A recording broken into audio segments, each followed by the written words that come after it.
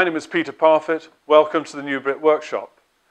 My dear old faithful workshop vacuum machine died the other day and I've had to replace it. But I wanted to replace it with something that would do more than just the general workshop cleanups, which the old machine had been doing. I wanted something that would provide me with all the vacuum power I needed for my new router table.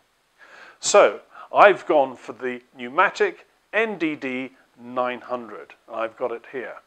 I'm going to tell you why. And let's have a quick look at the anatomy of the machine.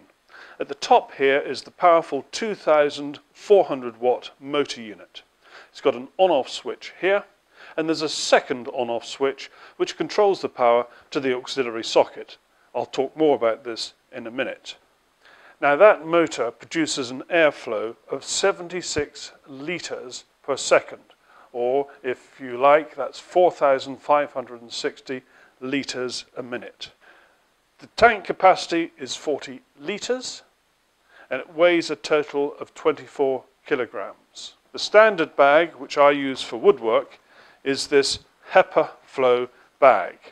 And there's a little port here and that fits over the inner side of this nozzle here.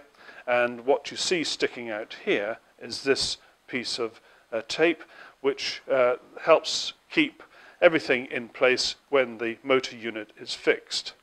Now that's good for woodwork, but if you are doing something really disgusting like uh, plaster work or chasing out mortar, then you could go for this Micro-Flo uh, bag, which is basically, it feels like a big pillow. It's got so much filtration and padding in here.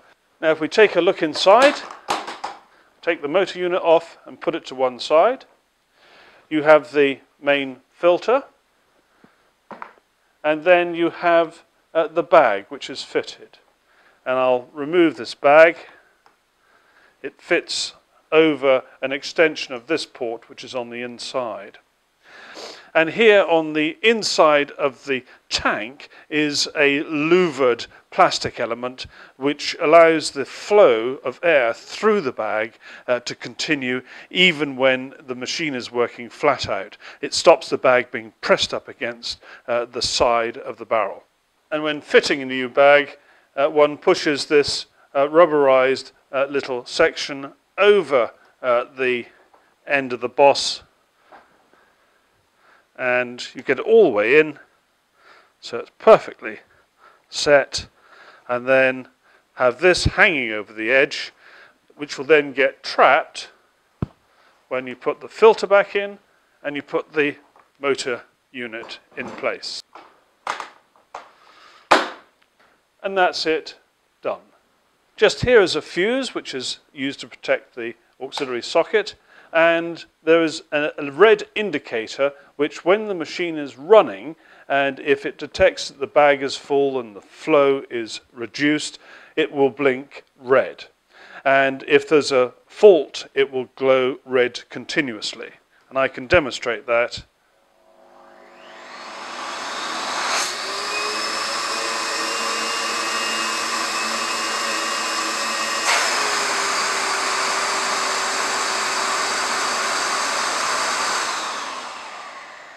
Now this is the standard hose provided with the kit and also provided with it is the sweep up tool which connects very simply onto the end of the standard hose like so.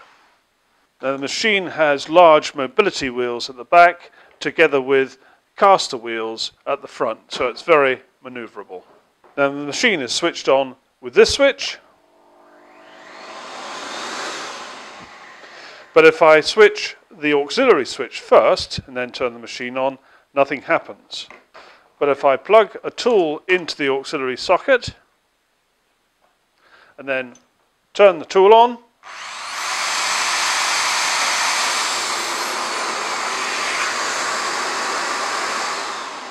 the machine then runs. And then also it overruns for a few seconds after you switch the tool off.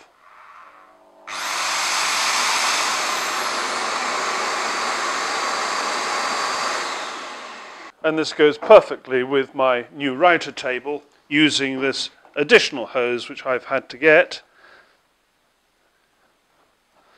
And I've also got an adapter here so it connects to my dust box.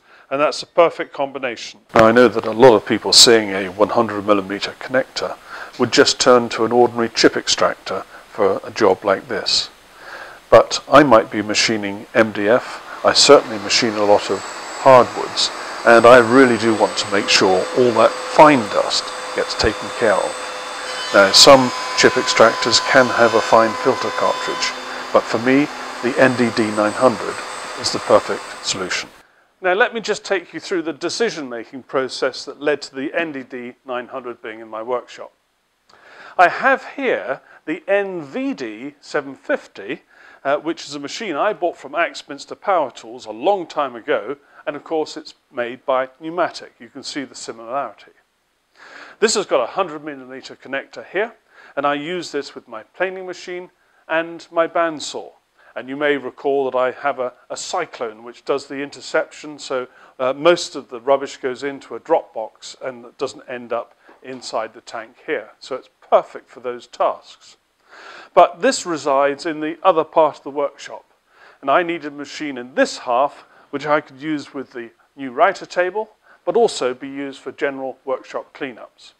Now, the next advantage in getting this machine is that it takes the same HEPA-Flo bags that I have for this machine. So they share the same type of bag.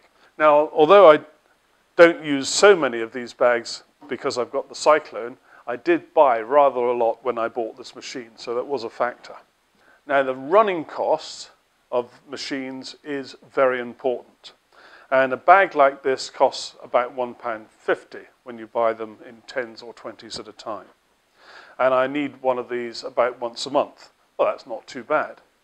But there are other extractors which I'm familiar with uh, where the bags cost closer to £5 each and using one of those a month starts to become significant, really.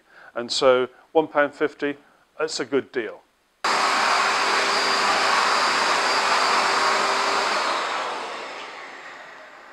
Well, that's it. That's my introduction to the Numatic NDD 900.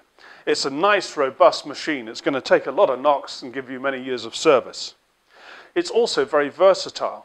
I'm going to be using it with my UJK router table, and I'll be able to use it around the workshop for my cleanups. It can also be used dedicated to individual power tools. But let me just remind you that that auxiliary socket is only one kilowatt of power. And the reason for that is simple. In the UK, uh, we have a 13 amp power supply. The motor is already running at 2.4 kilowatts, hence the limitation on that outlet. Now, I think this is a pretty good machine. It's inexpensive to run because those bags at £1.50 a pop or cheaper are absolutely great value for money. So, this is it for me. And this has got the added advantage that as I get older, I'll be able to use it to get myself around the workshop. Thanks very much for watching. Bye-bye.